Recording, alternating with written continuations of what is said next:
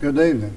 I'd like to welcome everyone that's with us tonight. Our number's down a little bit from this morning, but we're all here to worship and serve the Lord, so uh, hopefully you'll be edified by what I have to present to you tonight.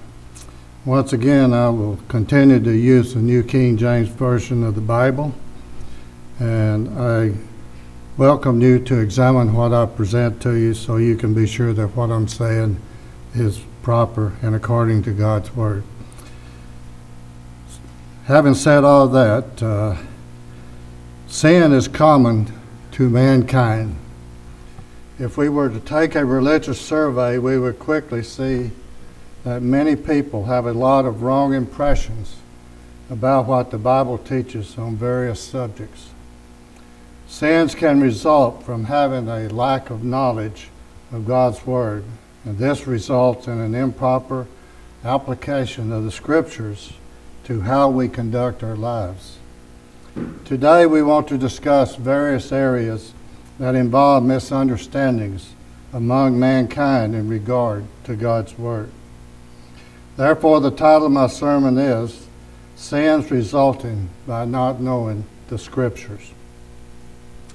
While on earth, Jesus confronted those who tried to entangle him with their questions. If you turn to Matthew 22, verse 29, you'll see that Jesus answered and said to them, You are mistaken, not knowing the Scriptures, nor the power of God. Here we find Jesus addressing the religious leaders of the Sadducees in regard to a matter that exposed their ignorance of God's Word. Even religious leaders can be wrong. Religious error is nothing new, and it had to be addressed by Jesus while here on earth. Likewise, we must deal with religious error today. However, we cannot deal with error unless we know and recognize it. What must we do to recognize error? Please turn to 2 Timothy chapter 2, verse 15. To recognize error, the Apostle Paul gave us instructions. So in verse 15, says, Be diligent to present yourself approved to God, a worker who does not need to be ashamed, rightly dividing the word of truth. We must be able to rightly divide God's word. If we are not diligent in the study of God's word, we will not be able to apply it to our lives in a proper manner. Thus, we will not be able to present ourselves approved to God. Ignorance of God's Word and not knowing the Scriptures will lead to sin in our lives. Therefore, we need to consult the Bible, which is the standard of all truth and what God expects of His children. The Apostle Paul stated in 2 Timothy chapter 3, verses 16 and 17 All Scripture is given by inspiration of God and is profitable for doctrine, for reproof, for correction, for instruction in righteousness, that the man of God may be complete, thoroughly equipped for every good work. The Bible is the inspired Word of God and contains everything we need to guide us to live in a way that is pleasing to Him. God's Word is complete and the absolute standard of truth. Now let us take a brief look at some common religious errors that are believed by some. Such errors that originate from not having sufficient knowledge of God's Word in regard to these matters. First, belief that children are born sinners. Some people believe that sins are passed from parents to children, so that children are born sinners in need of baptism. There are some denominations that have and teach this belief. This is sometimes referred to as inherited or original sin. This belief is untrue because children are safe in God's sight, not sinners. In Matthew chapter 19, verse 14, but Jesus said, Let the little children come unto me, and do not forbid them, for of such is the kingdom of heaven. Little children are innocent. Children do not inherit sins from their parents. We only have to refer to Ezekiel chapter 18, verses 19 and 20. It says, Yet you say, Why should the son not bear the guilt of the father? Because the son has done what is lawful and right, and has kept all my statutes and observed them. He shall surely live. The soul who sins shall die. The son shall not bear the guilt of the father, nor the father bear the guilt of the son. This scripture clearly states that every person is responsible for his or her own conduct. In Ezekiel chapter 18, verse 30, says, Therefore I, God, will judge you, O house of Israel, every one according to his ways, says the Lord God. Repent and turn from all your transgressions, so that iniquity will not be your ruin. Also in Colossians chapter 3 verse 25, but he who does wrong will be repaid for what he has done, and there is no partiality. The scripture clearly states that each will be responsible for their own actions. No one will bear the sins of another person. This being said, when should one be baptized? Only when one reaches the age of accountability and understands right from wrong. He understands that baptism is done to wash away their sins. Baptism is for consenting persons that believe that Jesus is the Son of God and understand that it's required to wash away their sins and required to be saved and to become a child of God. In Mark 16 16, it says, He who believes and is baptized will be saved, but he who does not believe will be condemned. Children are not born with the sins of their parents. Each person is accountable for their own actions. Children only need to be baptized when they reach an age of accountability, as previously discussed. Next is the belief in predestination. Predestination is the idea that God choose certain ones to be saved without involving choice. This is a false belief. The Bible clearly teaches that salvation is available to all who believe and willfully serve God. In Revelation chapter 22, verse 17, and the Spirit and the bride say, Come, and let him who hears say, Come, and let him who thirsts come. Whoever desires, let him take the water of life freely. Also in John chapter 3, verse 16, For God so loved the world that he gave his only begotten Son, that whoever believes in him should not perish, but have everlasting life. We can clearly, clearly see that belief is required to be saved. We also know that God is no respecter of persons. In Acts chapter 10, verses 34 and 35. Then Peter opened his mouth and said, In truth, I have perceived that God shows no partiality, but in every nation, whoever hears him and works righteousness is accepted by him. So God does not favor one person over another. The conditions to be saved are the same for everyone. Jesus loved us and died for all mankind. In Hebrews chapter 2, verse 9, but we see Jesus, who was made a little lower than the angels for the suffering of death, crowned with glory and honor, that he, by the grace of God, might taste death for everyone. Jesus died for the sins of all mankind. Each of us have an opportunity for the crown of life and a home in heaven. Not because we were predestined, but because we individually elect to serve God. The apostle Paul stated in 1 Timothy chapter 2 verses 3 and 4, "For this is good and acceptable in the sight of God our Savior, who desires all men to be saved and to come to the knowledge of the truth." Salvation is based on our choosing to serve God. To serve God, we must faithfully live our life in a manner that is according to His Word. God will not show partiality and desires that all be saved. We are not predestined by God to be saved or to be condemned. Each person has an opportunity to be saved, but must work out their own salvation. We must live a life in service to God and faithfully serve Him to the end of our earthly life. Then, on the day of judgment, we will be judged individually based on our deeds on earth, whether good or bad in the sight of God. After all have enjoyed the same opportunity to be saved, God will be a righteous judge and mete out final judgment. Next is the belief that once saved, always saved.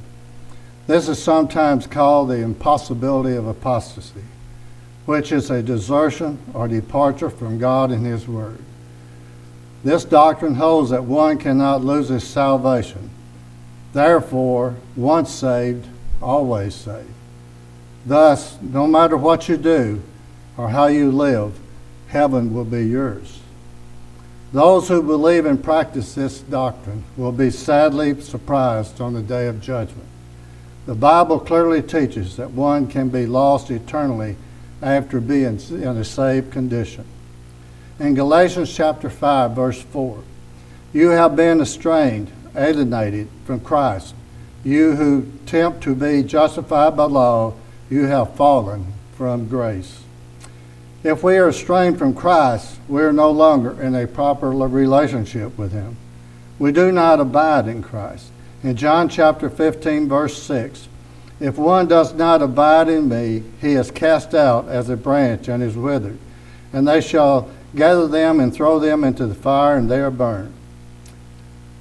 We do not want to be found in a condition where we do not abide in Christ. God will be faithful to his promises. The question is whether we are faithful unto God. In Revelation chapter 2, verse 10, it says, Be faithful unto death, and I will give you the crown of life. The promise of heaven is conditional and depends on us being faithful unto death. We must not be found with an evil heart of unbelief on Judgment Day. In Hebrews chapter 3, verse 12, it says, Beware, brethren, lest there be in any of you an evil heart of unbelief in departing from the living God. So be on alert at all times.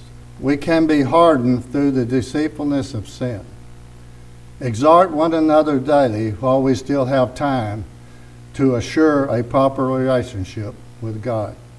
The doctrine of once saved, always saves is a false doctrine that can condemn our souls on the day of judgment. The next is the belief that instrumental music can be used in worship. Some churches use a piano or organ in their worship unto God. They do this in spite of the Bible teaching that musical instruments are not acceptable unto God in worship. As a Christian, our worship to God is determined by the New Testament. We can only know, we can only know how to worship acceptably by its teachings. We cannot follow the doctrines of men. In Matthew chapter 15, verses 8 and 9, these people draw near to me with their mouth and honor me with their lips but their heart is far from me. And in vain they worship me, teaching as doctrines the commandments of men. They were offering up vain worship. Therefore, we need to look at the scriptures to be sure that our worship to God is acceptable. There are two kinds of music vocal, which is singing, and instrumental. From the following scriptures, what music has God commanded? That's a question. Ephesians 5:19 states, "Speaking to one another in psalms and hymns and spiritual songs, singing and making melody in your heart to the Lord." Then another example, Hebrews chapter 2 verse 12. I will declare your name to my brethren in the midst of the assembly. I will sing praise to you. God clearly states that he wants us to sing. God does not tell us to use musical instruments when God specifies a way or kind To obey him is to do only what God says regarding the matter. Therefore, we are to sing and make melody in our hearts to the Lord.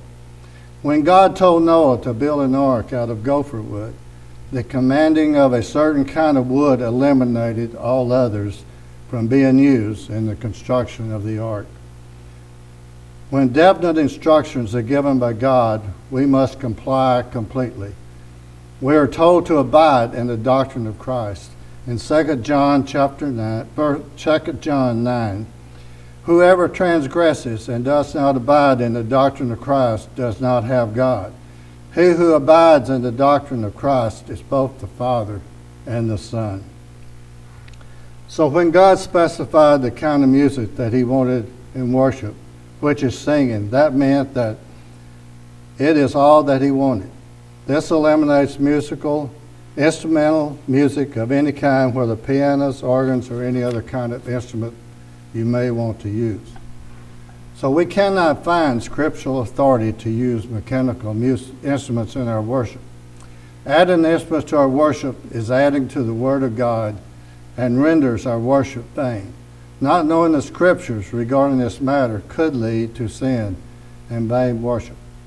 A side note, we have seen instrumental music creep into the Church of Christ, some who've disregarded God's word and added it to their worship. So beware of that. There's a lot of them out in the nation today. Next, the belief that one church is as good as another. There are thousands of different religious organizations in North America. Some people think that it makes no difference which one you belong to. In other words, choose the one that best fits your lifestyle and minimize the restrictions on how you want to live. Mankind may not think it makes a difference, but the Bible teaches that it does make a difference. Therefore, we need to be sure that we belong to the one body or one church as found in the Bible. In Ephesians chapter 4, verse 4, says, There is one body and one spirit, just as you were called in one hope of your calling. And we see that the body here is the same as the church. Also in Colossians 1:18, and he Christ is the head of the body, the church, who is the beginning, the firstborn from the dead, that in all things he may have the preeminence. Also in Ephesians chapter 5 verse 23, we see that Christ is the head of the church and Savior of the body. If there is only one true body, then is Christ the Savior of all the thousands of different religious groups that we referenced? The answer is obviously no. Christ is only the Savior of the one body or one church. So, what defines the one body? To be the one body of Christ, a church must follow the Bible. Any church that does not follow the Bible is not the Lord's church. Therefore, knowing the Scriptures is essential in being, that, being sure that we are members of the one body as defined in the Bible, the Church of Christ. So do not let the lack of knowledge regarding the Scriptures lead you astray. Next, the belief that baptism is not essential to be saved. Although many churches practice some form of baptism, most of them do not believe that baptism is a, a necessary thing that is done to be saved. Too many, to many churches, salvation comes at the point of faith, and baptism is just to show others that God has already saved you. Thus, it is an outward sign of an inward grace. The scripture clearly refutes this belief and proves that it is false. The Bible teaches that baptism is essential to salvation and is one of the steps of obedience.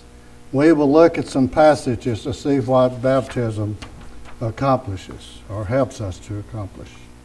First, we can be saved. In Mark 16 16, he who believes and is baptized will be saved, but he who does not believe will be condemned. Also, we're baptized into Christ in Galatians chapter 3, verse 27. For as many of you as were baptized into Christ have put on Christ. Baptism saves us. In 1 Peter chapter 3 verse 21, there is also an antitype which now saves us, baptism, not the removal of the filth of the flesh, but the answer of a good conscience towards God through the resurrection of Jesus Christ. Then we say that baptism washes away our sin. In Acts 22 verse 16, and now, while you waiting, arise and be baptized and wash away your sins, calling on the name of the Lord. Thus, baptism is only one step in the path of salvation, but is the culminating step of faith, at which point our sins are forgiven. We get into Christ and we are saved and added to the church. Now let us turn and read Romans chapter 6, verses 3 through 6 and 17 through 18 to see the importance of baptism. In Romans 6, 3 through 6, Or do you not know that as many of us as were baptized into his death, therefore we were buried with him through baptism into death, that just as Christ was raised from the dead by the glory of the Father, even so we also walk in newness of life. For if we have been united together in the likeness of his death, certainly we will also shall be in the likeness of his resurrection. Knowing this, that our old man was crucified with him, that the body of sin might be done away with, that we should no longer be slaves, slaves of sin. Then going down to verse 17 and 18 says, but God be thanked that though you were slaves of sin, yet you obeyed from the heart that form of doctrine to which you were delivered. And having been set free from sin, you became slaves of righteousness. This is why baptism by other churches is not valid. Valid. One must be fully must fully understand what they're doing to be baptized properly.